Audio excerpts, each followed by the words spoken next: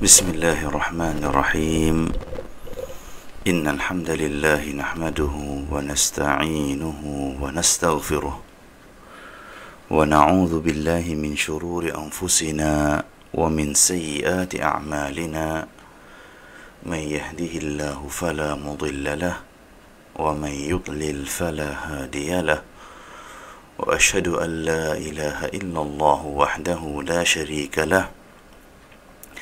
واشهد ان نبينا محمدا عبده ورسوله صلى الله وسلم وبارك عليه وعلى اله وصحبه وسلم تسليما كثيرا اما بعد ครับก็อัลฮัมดุลิลลาห์เราก็มาพบกันอีกครั้งในมัจลิสอัลอิลมีการบทเรียน จากในเรื่องของศาสนาอิสลาม แล้วก็เราก็มาต่อกัน ในเรื่องราวของมันฮัจหรือว่าแนวทางของอัลลสุนนะวัลจามะแนวทางของอัลอิสลาม และก็ผู้ที่ปฏิบัติตามท่านนบีสุลต่านละฮ์อะลัยฮิวะสัลลัม ซึ่งการเรียนรู้มันฮัจอันนี้นั้นพี่น้องที่รักษาทั้งหลาย เป็นสิ่งที่สำคัญในยุคปัจจุบัน อันเนื่องมาจากว่า ยุคปัจจุบันนั้นมีความโง่เขลามากมาย และก็มีความคลุมเครือ อีกหลากหลาย และก็ศัตรูอิสลามก็ยังมีมากมาย ที่คอยสร้างความสับสนแล้วก็สร้างความแตกแยกในศาสนาอิสลาม ดังนั้นผู้ที่อัลลอฮฺ سبحانه และ تعالى ให้ตอฟิกให้ได้อยู่ในแนวทางที่ถูกต้องนั้นนะก็ถือว่าเป็นเนี่ยมหอันใหญ่หลวง ถือว่าเป็นความโปรดปรานที่ยิ่งใหญ่ ใครก็แล้วแต่ที่ได้เรียนรู้ แนวทางที่ถูกต้อง แล้วเขาก็เดินดำเนิน ชีวิตของเขาด้วยกับผลทางนั้นนั่นถือว่าเป็นความเนี่ยมานะเป็นความโปรดปรานอย่างใหญ่หลวง จากอัลลอฮฺ سبحانه และ تعالى และนั่นก็ถือว่าเป็นความโปรดปรานที่มาจากอัลลอฮ์จากแรกเริ่มแล้วก็จบจดท้ายนะทุกอย่างนั้นความดีมาจากอัลลอฮ์ سبحانه และ تعالى ที่พระองค์จะให้ฮิดายะแก่ผู้ใด วันนี้เราจะมาพูดเกี่ยวกับอีก เรื่องหนึ่งนั่นก็คือ แนวทางของอัลลุสุนนะวันจะมาอะนั้น พวกเขาจะปฏิบัติตามแนวทางของชาวซาลฟพวกเขาจะปฏิบัติตาม แนวทางของชาวซาลฟจนกระทั่งว่าเราก็เคยได้ยินหลายท่านก็อาจจะได้ยินคำว่าซาลฟ หรือว่ามันฮัจซาลฟแนวทางของชาวซาลฟซึ่งก่อนก่อนก่อนนั่นนะพี่น้องคำคำนี้นั้นก็ไม่เคย ไม่ค่อยได้ปรากฏนะพี่น้อง การอินติซาบหรือว่าการนะยึดแนวทางซาลฟอันนี้ จากยุคของซอฮาบะนะเพราะซอฮาบะนั้นพวกเขานั้นก็มีแล้วกับซอฮบะและก็คนในยุคซอฮาบะ แล้วก็ในยุคอัตตาบีอีนตอนต้นๆนั้นน่ะก็ไม่ค่อยมีการแตกแยก ไม่ได้มีออกมาเป็นหลายกลุ่มเหมือนยุคปัจจุบัน ก็เลยชื่อนะแนวทางชาวซาลฟนะหรือว่าอัตบะซาลฟหรือว่ามันฮัดอัสซาลฟ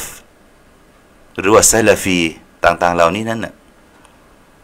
ไม่ค่อยได้มี ไม่ค่อยได้ปรากฏในยุคก่อน ฉะนั้นแต่มาเมื่อยุคมายุคหลังนั่นน่ะที่มีหลากหลายกลุ่ม หลากหลายแนวคิดนะหลากหลายแนวทาง ผู้คนก็ต่าง คิดค้นแนวทางแปลกๆใหม่ๆได้มาวาง แนวทางใหม่ ๆ และก็ส่วนมากแนวทางเหล่านั้นก็จะอิงไปถึง ชื่อของผู้คนเหล่านั้นนะผู้ที่มาวางรากฐานใหม่ ๆ ก็ได้ออกเป็นกลุ่มต่างๆ ก็เลยเราจำเป็นจะต้องเรียนรู้ถึงแนวทางของที่ถูกต้อง นั่นคือแนวทางไซลัฟแนวทางของคนรุ่นก่อนๆ แนวทางของท่านนาบีสุลต่านและก็บรรดาสหาบะที่อัลลอฮ์และก็รอซูลได้รับรองนั่นคือแนวทางของสหาบะนะสำคัญเช่นเดียวกันแนวทางของอัสสหาบะ แล้วก็มามีอีกบางลัทธินั้น ได้ปฏิเสธสหาบะบางลัทธินั้นก็ได้ปฏิเสธสหาบะไปส่วนมากก็ว่าได้หรือว่า 99เปอร์เซ็นต์ไม่ยึดเอาสหาบะและจะเรียนรู้อิสลามมาจากทางผู้ใด ถ้าว่าเราทิ้งชาวสหาบะดังนั้นนะการปฏิบัติตามในทางซาลฟ ก็ถือว่าเป็นแนวหลักสำคัญของแนวทางอัลลุสุนนะวัลจามาอะดังนั้นวันนี้เรามาเรียนรู้แนวทางอัสซาลฟคำว่าซาลฟในภาษาอาหรับนั้นนะตามหลักภาษาของมันก็คือกุลลุมามดาวตะกดดัมก็คือสิ่งที่เคยผ่านไปแล้วในอดีต สิ่งที่เคย ผ่านไปก่อนหน้านะกลุ่มชนที่ผ่านไปก่อนหน้า อะไรก็แล้วแต่ที่เคยผ่านไปแล้วนั่นก็เรียกว่าซาลฟในภาษาอาหรับ ดังที่พระองค์ได้ทรงตรัสว่าว่าอันตัจมาอูบนัลอุคตัยนีอิลลามากดซาลฟและการที่พวกท่านทั้งหลายจะรวม ระหว่างพี่น้องกันนั่นคือรวมภรรยานั่นนะระหว่างพี่น้องกัน พี่น้องด้วยกัน แต่งงานกับภรรยาแล้วก็แต่งงานกับน้องสาวเขาอีกหรือพี่สาวของเขาอันนี้คือไม่ได้ในอิสลามอิลลามากอดซลฟนอกจากว่าเคยที่ผ่านผ่านพ้นไปแล้วในอดีตนั่นคืออัลลอฮ์จะไม่ถือสาถ้าหากว่าก่อนหน้านี้อัลลอฮ์ไม่ถือสาอันนี้คือนะคำว่าซลฟก็คือผู้ที่หรือว่าสิ่งที่เคยผ่านไปแล้ว หรือว่าผู้ที่เคยผ่านไปแล้วในอดีต หรือว่าผู้ที่อยู่ก่อนหน้าเรา นั่นคือก็ได้เหมากันตามหลักภาษา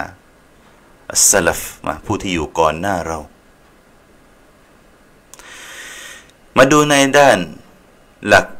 ชริอะนะหรือว่าหลักศาสนาที่หมายถึงนั่นนะนะคำว่าอัสลัฟนะหรือว่าชาวซาลฟนั้นนะก็คืออัลกอรนุลอวัล มินฮาดิฮิลอุมมะก็คือคนที่อยู่ในยุคแรก หรือว่าศตวรรษแรกจากประชาชาตินี้ นั่นก็คือบรรดาสหาบะมันคือชาวบรรดาสหาบะ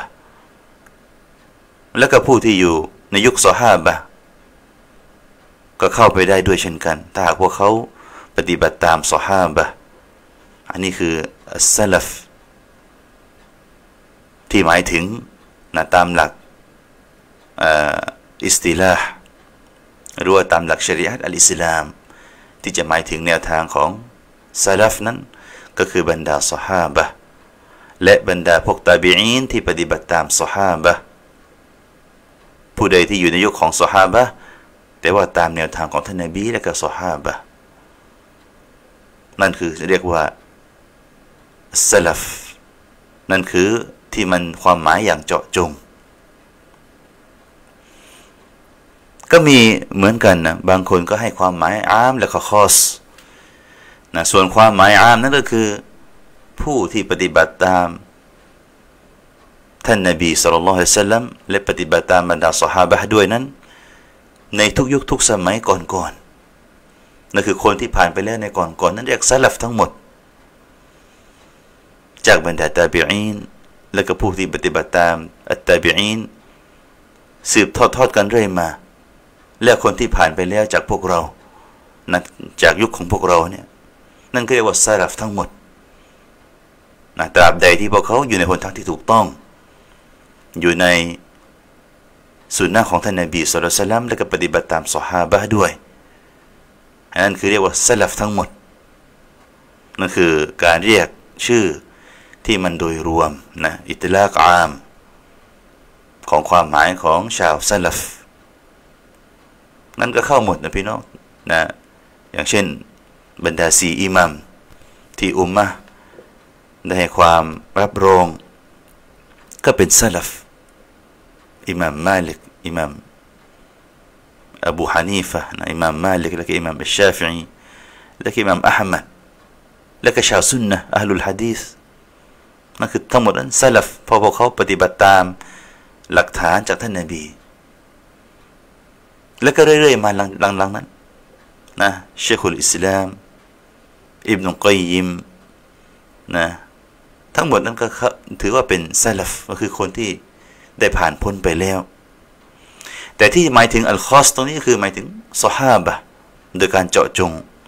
และกับบรรดาตาบีอีนที่ปฏิบัติตามสฮาบะ โดยการเจาะจงที่อัลลอฮฺ سبحانه และ تعالى ได้กล่าวว่า والسابقون الأولون من المهاجرين والأنصار والذين اتبعوهم بإحسان رضي الله عنهم ورضوا عنه ก็คือบรรดาอัซาบิกูนก็คือคนที่ผ่านพ้นไปแล้วในอดีตต้นต้นอัลอาวลูนนะในยุคต้นต้น ใครล่ะ นั่นก็คืออัลลอฮ์ก็กล่าว มินัลมุฮาจิรีนวัลอันซอร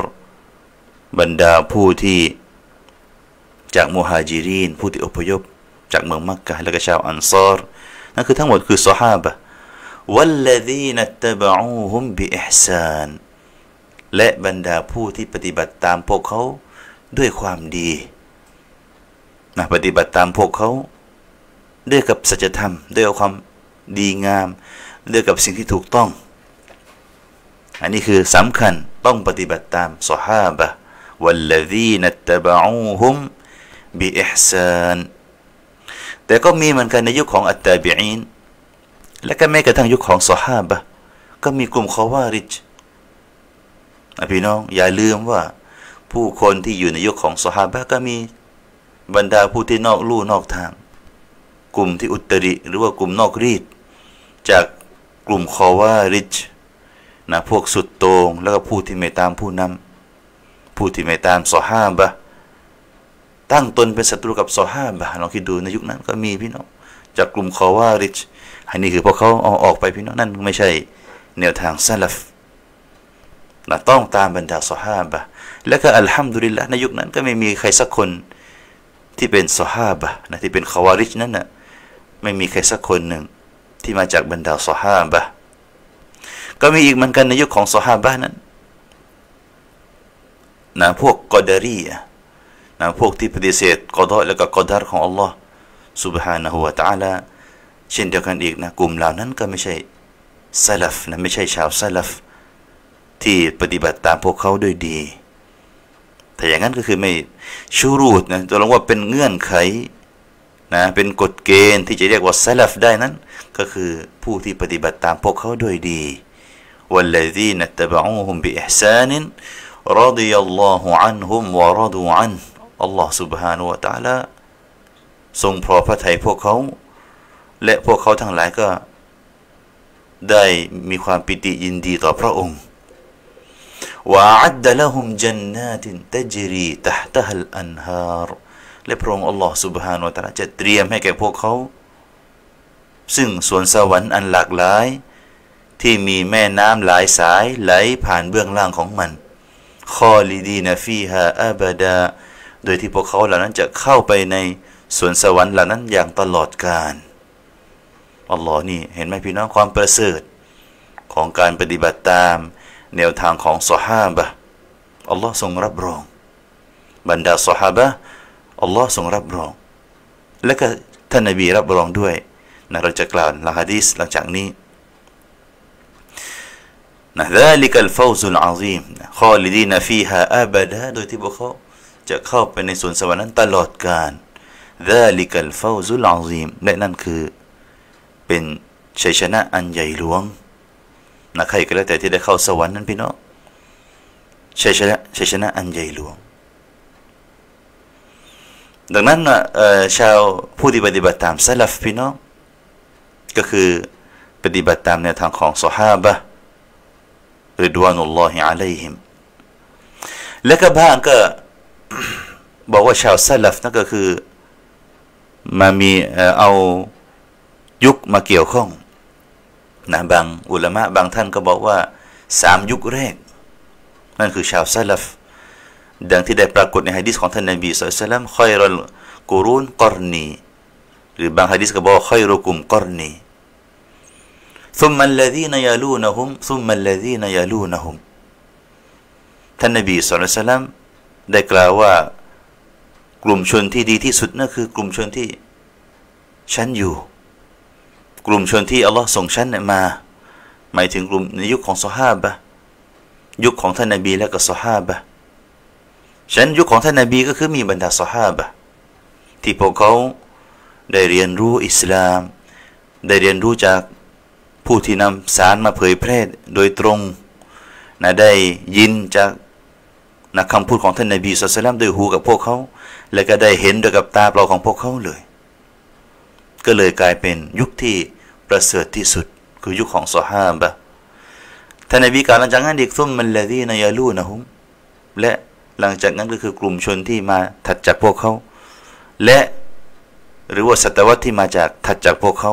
ท่านนบีได้กล่าวสามครั้งด้วยกันนั่นนั่นคือรวมไปถึงยุคของตาบีอินด้วย แต่นั่นก็นั่นแหละนะเราก็ต้องมีเงื่อนไขนะมีเงื่อนไขว่ายังไงล่ะพี่น้องก็คือ ตามที่อัลลอฮ์ได้กล่าวถ้าพวกเขาทั้งหลายปฏิบัติตามสหาบะวัลลดีนัต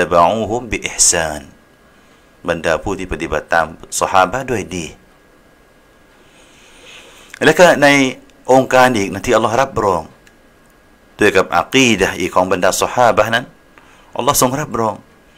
ดังที่พระองค์ได้ทรงตรัสว่า فإن آمنوا بمثل ما آمنتم به فقد اهتدوا และถ้าหากพวกเขาทั้งหลายได้ศรัทธา เหมือนกับพวกท่านทั้งหลายได้ศรัทธากันแล้ว หมายถึงท่านนบีและกับบรรดาสหาบะ ฟกอดิตะเดาแน่นอนพวกเขาทั้งหลายก็จะได้รับทางนำนะแน่นอนพวกเขาก็เป็นคือว่าเป็นผู้ที่อยู่ในทางนำอันนี้คือเน้นย้ำอีกในเรื่องของอากีดะนั้นสำคัญก็คือปฏิบัติตามท่านนบีและกับบรรดาสหาบะและก็ท่านนบีสุลต่านได้สั่งให้อุมมะของท่านนั้น ปฏิบัติตามบรรดาสหาบะด้วย ดังที่ท่านนบีสุลต่านได้กล่าวในฮะดิษหนึ่งที่เป็นฮะดิษอิฟติรอกที่ท่านนบีได้บอกถึง ในอนาคตนั้นจะจะเกิดการแตกแยกของประชาชาติ ออกเป็นหลายกลุ่ม ออกเป็น 73จำพวก กุลลูฮาฟินนารท่านนบีว่าทุกกลุ่มนั้นอยู่ในนรก หมายถึงว่าทุกกลุ่มมันต้องตกนรกอิลลาวาฮิดะนอกจากว่ากลุ่มเดียว ที่ตกนรกนั้นพี่น้องนะก็มีนะการวิเคราะห์นะการศึกษาตกนรกตลอดการทั้งหมดหรือไม่นั่นก็มีนะซึ่งสรุปแล้วก็คือก็ขึ้นอยู่กับถ้าหากว่ากลุ่มบางกลุ่มนั้นน่ะถึงขั้นชีริกถึงขั้นตกศาสนา นั่นก็ถือตกนรกตลอดกาลวันยาตุบิลละตามองค์การของอัลลอฮ์อันกุรอานุลกรีมที่อัลลอฮ์ได้กล่าว แต่ถ้าหากว่ากลุ่มที่มีบิดานะมีอุตรินะมีของแปลกปลอม ยังไม่ถึงขั้นชีริก แต่ว่าไม่ถึงขั้นตกศาสนา นั่นแหละที่ท่านนบีได้กล่าว องค์การในฮะดิษนี้กุลลุฮาฟินนารทุกกลุ่ม จะตกนรกนอกจากกลุ่มเดียวอิลลาวาฮิดะหันตรงนี้สำคัญ ใครล่ะนั่นคือจะรอดนั่นน่ะท่านนบีก็กล่าวว่ามัน มันเฮียยารอสูลุลลอฮ์บรรดาสาวก็ถามว่าพวกเขาคือใครอัลรอสูลุลลอฮ์กล่าวมันกานะอานาอะลัยฮินะหรือว่ากานะอัลามิสลิมาอานาอะลัยฮิอัลยอมวะอัศฮาบีก็คือกลุ่มชนที่ปฏิบัติตาม ฉัน และก็บรรดาสาวกของฉัน อยู่ในวันนี้ ก็คือผู้ที่ปฏิบัติตามหลักการอิสลาม แท้ๆหลักการอิสลามที่ถูกต้องของมัน อันนี้คือสำคัญพี่น้องนะมันทัชสลัฟหมายถึงท่านนบีสุลต่านก็ให้ปฏิบัติตามแนวทางสหบะนั่นก็คือท่านนบีรับรอง เพราะเพราะพวกเขาก็คือลูกศิษย์ของท่านนบีสุลต่านบรรดาสหบะก็คือ ลูกศิษย์ของท่านนบีสุลต่านละฮ์อะลัยฮิสัลลัมและก็อัลลอฮ์ก็ได้กล่าววัลลดีนัตตบะอูฮุมบิอิห์ซานและก็ในอีกฮะดิษหนึ่งพี่น้องที่ท่านนบีสุลต่านละฮ์อะลัยฮิสลามได้มารับรองอีก และก็ได้มาสั่งให้ปฏิบัติตามแนวทางของซาลฟจากบรรดาสหาบะนั่นนะท่านนบีصلى الله عليه وسلم บอกว่า فإنه من يعش منكم بعدي فسيرى اختلافا كثيرا นั่นเนี่ยในฮะดิษสเฮทั้งนั้นไปเนาะในแท้จริงใครก็แล้วแต่ที่จะมีอายุยืนนาน จะอยู่อย่างยาวนาน เขาก็จะเห็นการแตกแยกนั้นมีมากมาย หมายถึงในอนาคต ฟาซายรัคติลาฟังกะซีรอตรงนี้คือฮะดีษที่ท่านนบีสุลต่านละฮ์อะลัยฮิสซาลลัมได้กล่าวนั่นคือวะฮยูแน่นอนท่านนบีไม่ได้คัดคะเนเอาเอง แต่เป็นวะฮยูเป็นความรู้ที่มาจากอัลลอฮ์สุบฮานได้บอก فعليكم بسنتي وسنة الخلفاء الراشدين المهديين من بعدي ดังนั้นพวกท่านทั้งหลาย ก็จงยึดเอาแบบฉบับของฉัน และแบบฉบับของบรรดาคอลิฟะผู้ที่สืบทอดจากท่านนบีอย่างทรงธรรมบรรดาคุลฟะอัลรอชิดีนนะและก็ทั้งสี่คุลฟะก็คือคุลฟะอัลรอชิดีนดังได้อิติฟากอุมมะอันนี้คือให้ปฏิบัติตามได้ ให้ปฏิบัติตามพวกเขานะในหลักการของศาสนานั้นแต่มัสกูบิฮะพวกท่านทั้งหลายจงยึด มันอย่างนั้นอย่างมั่นคงวะอักดูอะลยฮะบินนาวาจิซและจงกัดมันด้วยกับฟันกราม หมายถึงว่าให้ยึดอย่างเหนียวแน่น นี่แหละพี่น้องความสำคัญของการปฏิบัติตามสุนนะของท่านนบี และก็บบรรดาสหาบะฉะนั้นว่าด้วยเหตุนี้นะความสำคัญของการเรียนรู้ศาสนา ความสำคัญในการเรียนรู้ถึงร่องรอย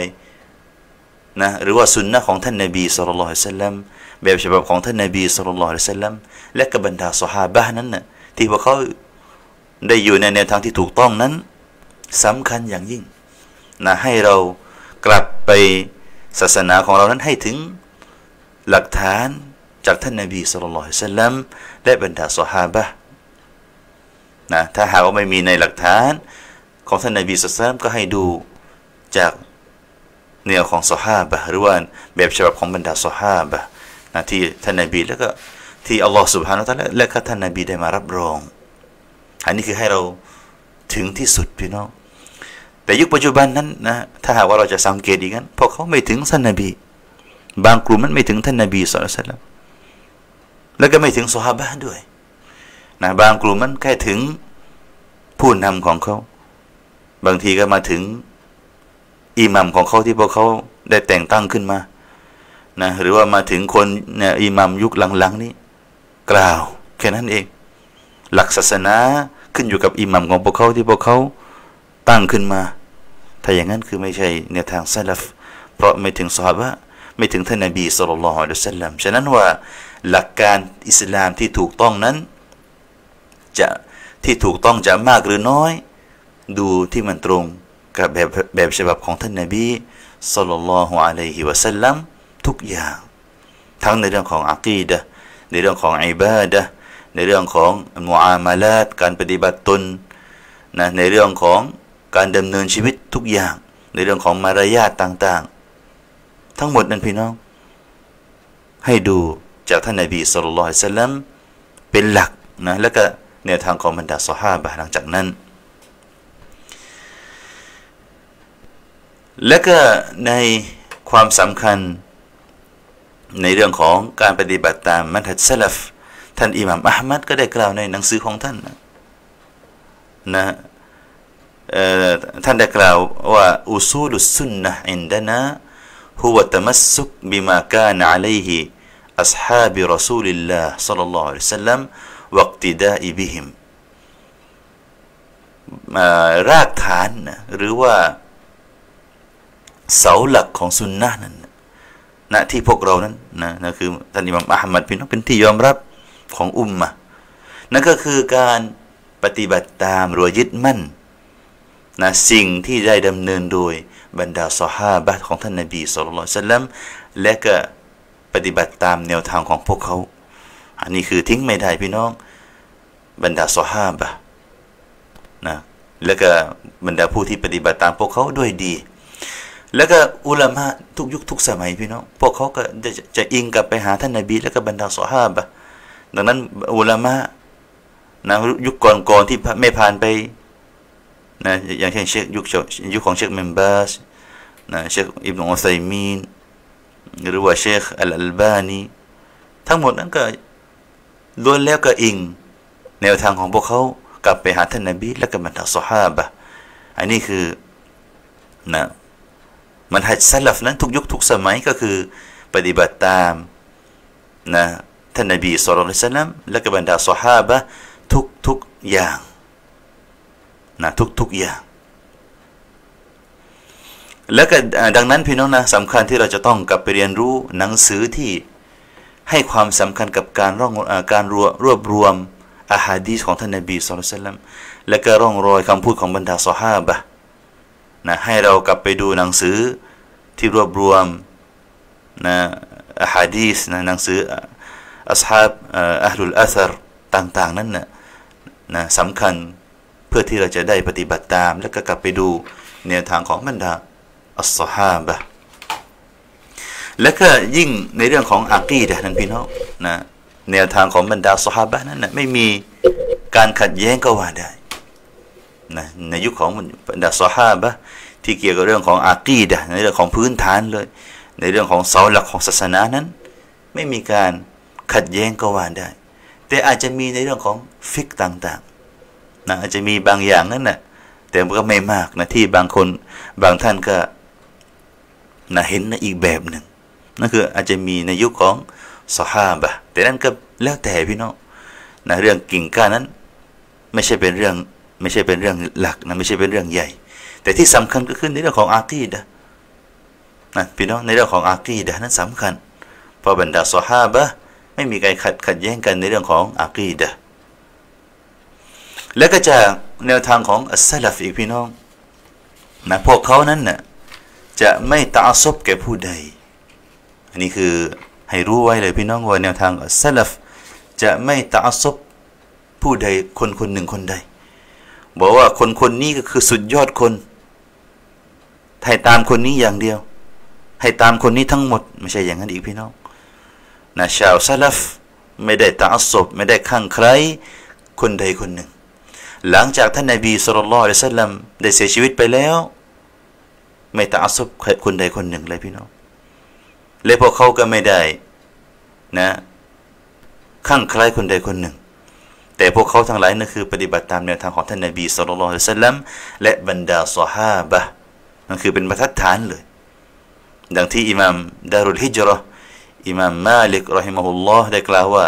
กุลุนยุขดมินหูวยุรัดอิลลาซาฮิบฮาดัลกับร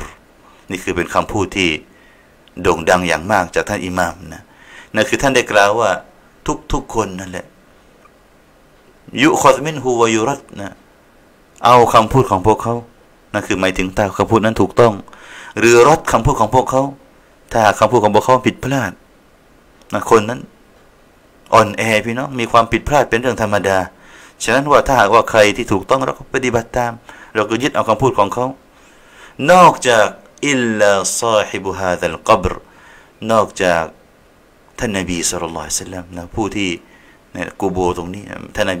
ท่านอิหม่ามมาเลกกะชี้ไปที่ กูโบของท่านนบีสุลต่านสัลลัมนะสุสานของท่านนบีสุลต่านสัลลัมที่อยู่ใกล้กับเมมบาร์นั้นที่อยู่ใกล้กับเราดอตรงนั้นนะนอกจากท่านนบีท่านเดียวที่เราจะต้องยึดมั่นทุกอย่าง ส่วนคนอื่นนั่นน่ะมีผิดมีถูกนั่นคือ อันนี้คือมันฮัชเลยพี่น้องคำพูดนี้เป็นมันฮัชของชาวซุนนะวันจามาและก็เช่นเดียวกันอีกชาวซาลฟ ไม่ได้มาขัดแย้งในเรื่องของเอาตอนของประเทศชาตินะไม่ใช่ว่าชาวซาลฟประเทศนั้น ประเทศเดียวเท่านั้น ส่วนประเทศอื่นเราไม่เอามันก็ไม่ใช่อย่างนั้นอีกพี่น้องไม่ใช่ไปข้างใครในประเทศหรือว่าบ้านเมืองบ้านเมืองหนึ่งนะบอกนี่มันทัชซาลฟของประเทศซาอุดีหรือมันทัชซาลฟของประเทศอียิปต์ไปแบ่งกันอย่างนั้นอีกนะมันทัชซาลฟของประเทศ จอร์แดน มันทัชสลัฟของประเทศนะของประเทศไทย มันทัชสลัฟของอินเดียเหล่านี้พี่น้องหรือประเทศใด ๆ ก็แล้วแต่ไม่มีการขัดแย้งกันในมันทัชเหล่านั้นพี่น้องผู้ใดก็แล้วแต่ที่ปฏิบัติตามสุนนะของท่านนาบี และก็เจริญร่องรอย ตามบรรดาสหาบะด้วยนั้นน่ะทั้งหมดนั้นเรียกว่ามันฮัจสลัฟแล้วก็ทั้งหมดนั้นก็ถูกต้องนะไม่ได้ขัดแย้งกัน เกี่ยวกับประเทศชาติ แล้วก็เช่นเดียวกันอีกไม่ยึดเอาคนใดคนหนึ่งมาเป็นแกนนะมันก็ว่ากลุ่มบอกว่านี่มันฮัจสลัฟของเชคเมมเบอร์ส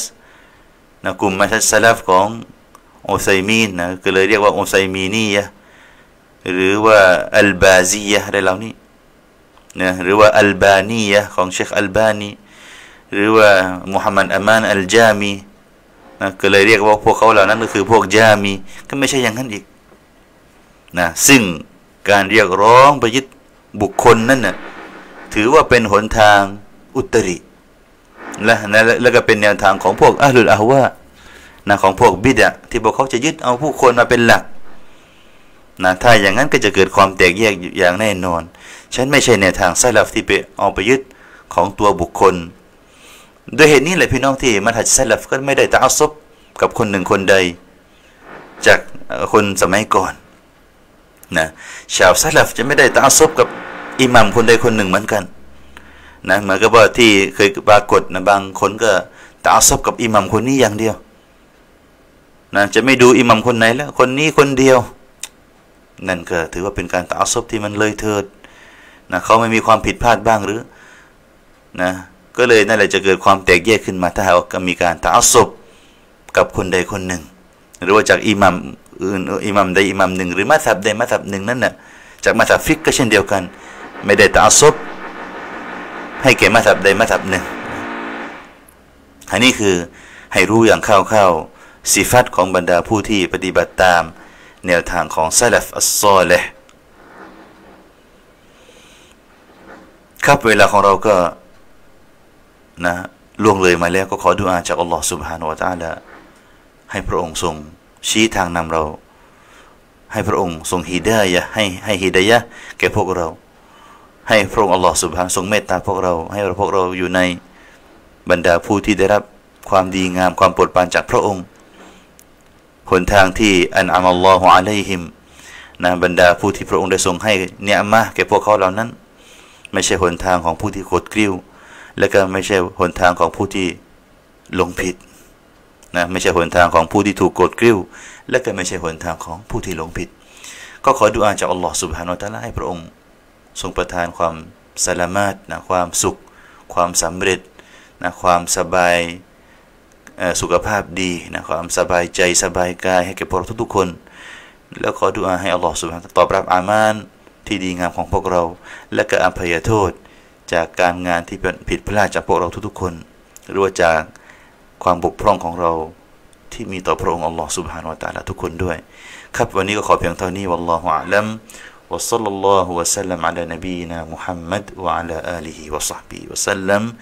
والحمد لله رب العالمين والسلام عليكم ورحمة الله وبركاته